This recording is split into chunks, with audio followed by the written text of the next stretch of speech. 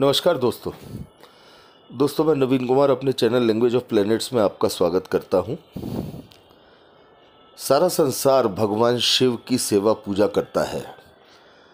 भोलेनाथ जी पे जल चढ़ाते हैं।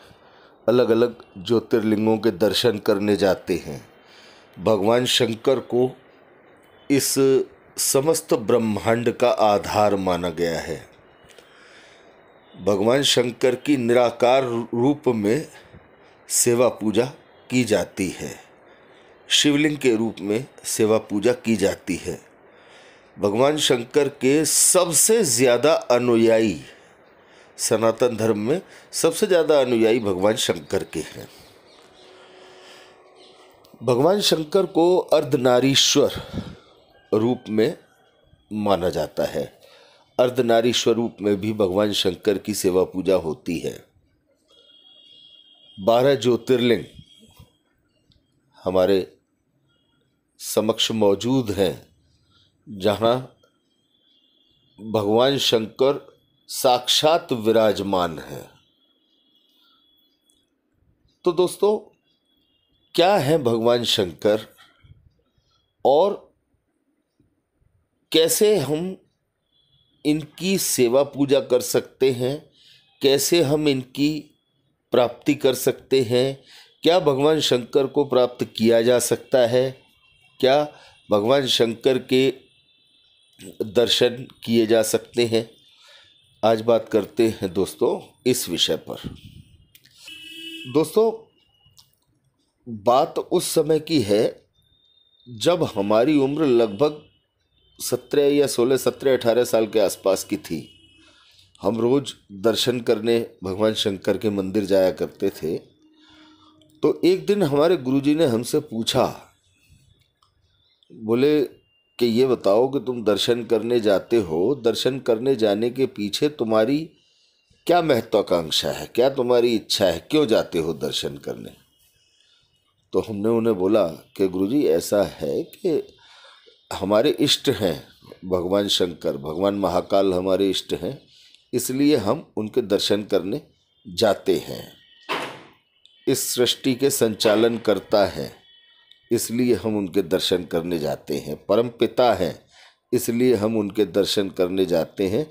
और हमारे बड़े बुज़ुर्गों ने ये सिखाया है, सनातन धर्म में ये मान्यताएँ हैं कि भगवान शंकर की सेवा पूजा करना आवश्यक है।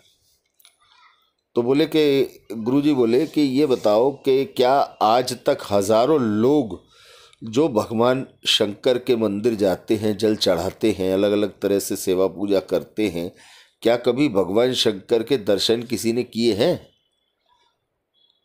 तो सच कहें दोस्तों, इस बात का जवाब हमारे पास नहीं था, क्योंकि हमारे व्यक्तिगत अनुभव में इस तरह की कोई बात कभी नहीं आई थी कि किसी ने भगवान शंकर के दर्शन किए हों। तब हमारे गुरुजी ने हमें ये बात समझाई थी कि भगवान शंकर एक शक्ति हैं। एक शक्ति के रूप में ये हमारे मानव शरीर के अंदर वास करते हैं।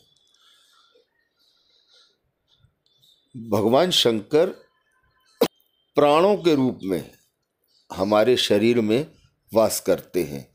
जब भी कोई इंसान कोई काम करने जाता है, उसे उस काम के बारे में अंदर से ही इस बात का उसकी अंतरात्मा इस बात को बोलने लगती है, ये काम होगा या नहीं होगा, या इस काम को करना उचित है या नहीं उचित है।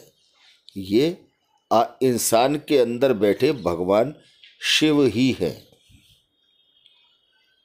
दोस्तों, जब भी इंसान कुछ खाता है, स्वाद लेता है, किसी चीज़ को सुनता है, किसी चीज़ को कहता है, किसी चीज़ को दिमाग से समझता है, किसी चीज़ के सुंदरता का वर्णन करता है, सौंदर्य उसे अच्छा लगता है कौन सा भोजन उसे अच्छा लगता है, इस तरह के जितने भी गुण हैं, ये उस शक्ति के गुण हैं जो इंसान के शरीर के अंदर मौजूद है, जिसे शिव कहते हैं। गुरुजी के अनुसार, हमारे शरीर के अंदर जो शिव है, वो ही हमें अच्छे बुरे का भान कराते हैं। हमारे शरीर के अंदर बैठकर वो अलग अलग पदार्थों का स्वाद लेते हैं।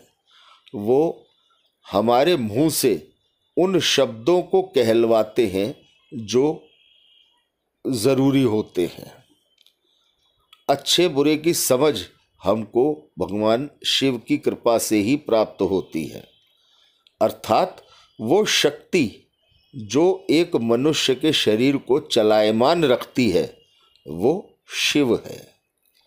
जब वो शक्ति इंसान के शरीर से निकल जाती है, अर्थात जिसे हम मृत्यु होना कहते हैं, देहांत होना कहते हैं। तब ये माना जाता है कि इसकी मृत्यु हो गई, अर्थात वो शक्ति इसके शरीर को छोड़कर चली गई। तो दोस्तों, जब वो शक्ति शरीर से निकल जाती है तो केवल शव रह जाता है। अर्थात शिव विदा हो गए शव रह गया। और चाहे शव आपके कितने भी प्रिय आत्मी, आत्मीय जन का क्यों न हो, आप उसे ज़्यादा समय तक घर में नहीं रख सकते। उसका दाह संस्कार करना ही पड़ता है। तो इसे प्रत्यक्ष या अप्रत्यक्ष रूप में हम यही मानेंगे कि इस संसार में जो भी महत्व तो है। जो भी मूल्य है, वो केवल शिव का है। अर्थात उस शक्ति का है, जो इंसान के अंदर, इंसान के शरीर को चलायमान कर रही है। इंसान के शरीर के अंदर मौजूद है, वही शिव है। तो दोस्तों, इसलिए हमारे शास्त्र कहते हैं कि कभी किसी का दिल नहीं दुखाना चाहिए। कभी किसी को कड़वे वचन नहीं बोलने चाहिए। कभी ऐसा काम नहीं करना चाहिए जिससे दूसरे को कष्ट हो। क्योंकि उसके अंदर भी जो शक्ति विराजमान है, वो शिव है।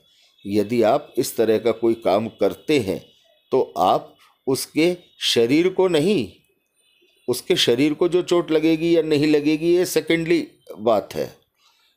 लेकिन उसके अंदर बैठी शक्ति को कष्ट होगा, जो शिव है। तो दोस्तों, जब ये व्याख्या हमने अपने गुरुजी के मुँह से सुनी थी तो हम दंग रह गए थे। वास्तव में यदि देखा जाए तो महत्व शिव का ही है। अर्थात महत्व केवल उसी शक्ति का है जो शक्ति इंसान के शरीर के अंदर मौजूद है, प्राणों के रूप में, अंतरात्मा के रूप में, जो हमारे शरीर को चलायमान करती है। यदि वो शक्ति हमारे शरीर से निकल जाती है तो केवल शव रह जाता है और शव का कोई मूल्य नहीं। उसे जल्दी से जल्दी उसका दाह संस्कार कर दिया जाता है। तो दोस्तों, ये व्याख्या हमें बहुत पसंद आई थी, इसलिए हमने इसे आप सबके साथ शेयर किया।